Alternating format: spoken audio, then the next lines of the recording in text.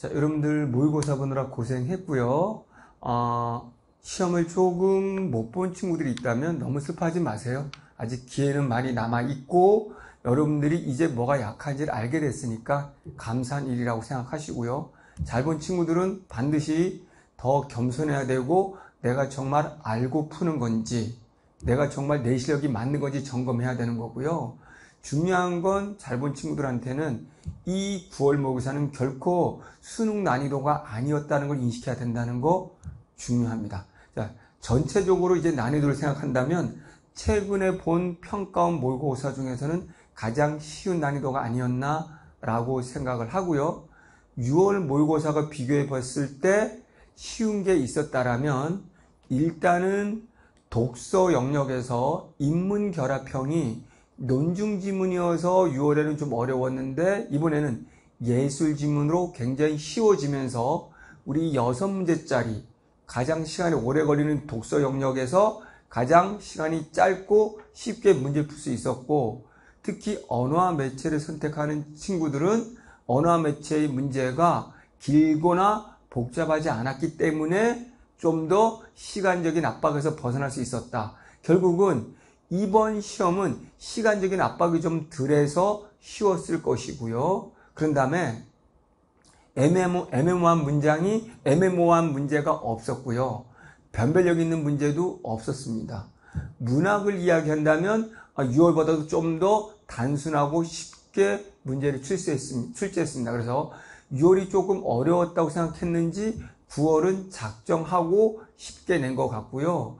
그래서 결론적으로 올해 수능은 6월과 9월에 중간 정도 난이도가 나오지 않을까라고 생각됩니다. 그래서 1등급이 한 수능에서 91 또는 90, 92 그 사이 정도, 2등급이 87, 8 정도, 85 정도라는 정도로 작년보다는 훨씬 높아지지 않을까라고 생각을 합니다. 그래서 여러분들 이제 문학이 굉장히 쉬운데도 불구하고 문학이 어렵게 느껴진 친구들이 있다면 반드시 저의 해설 강의를 꼭 보면서 이 보기를 기준으로 그리고 선택지의 논리적 관계를 보는 것 중심으로 빠르게 공부 방식을 선회하시기 바랍니다. 일일이 뜻풀이 하거나 정리하거나 EBS를 암기하는 것으로는 수능날 절대 풀 수가 없어요.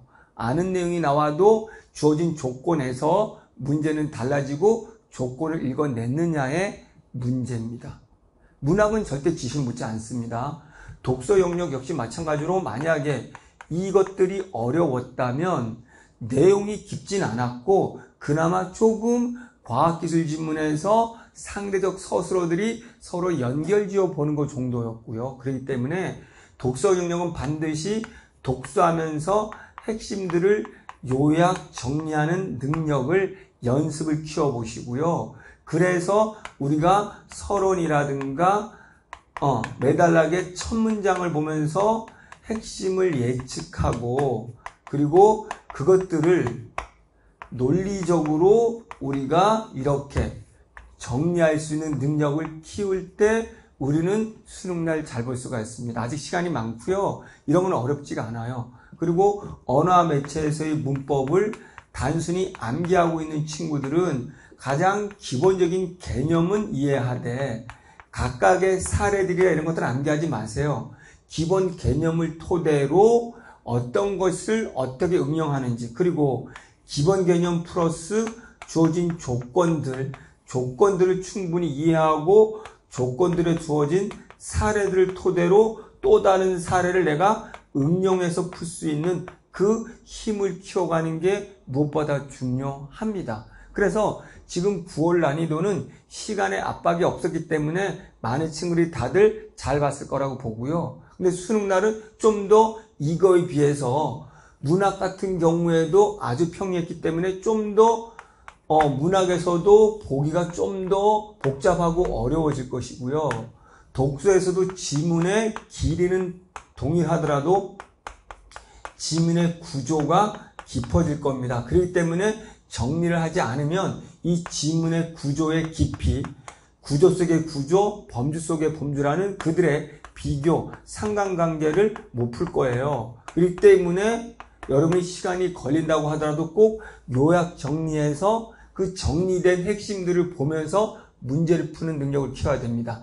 한 문장 한 문장에 매달리는 순간 한 문장 한 문장에 관한 문제는 없기 때문에 수능에서는 여러분 망하게 되거든요. 그래서 이런 것들을 잘 여러분들이 인지하면서 이번 9월 평가원 살짝 우리 기분은 좋을 수는 있습니다. 쉬워서 점수가 잘 나와서 그러나 이 점수에 취하면 안 되고요.